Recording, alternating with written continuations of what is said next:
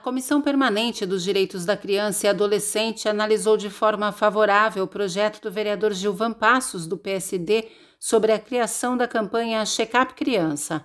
O presidente da comissão, vereador Geraldo Celestino, do PSC, explica. É um projeto muito importante, tem um de longo alcance social, e ele sugere aí criança de 5 a 8 anos, né?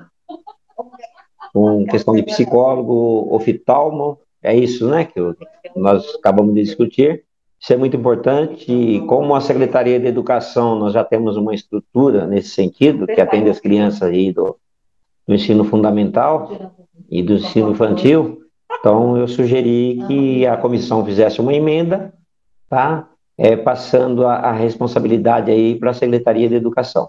E a maioria das famílias não tem condições de procurar um oftalmo, às vezes crianças com problema de visão, é, ou precisam de psicólogos, então, principalmente as famílias de baixa renda necessitam desse serviço. Então, o projeto é, é muito importante para o nosso município.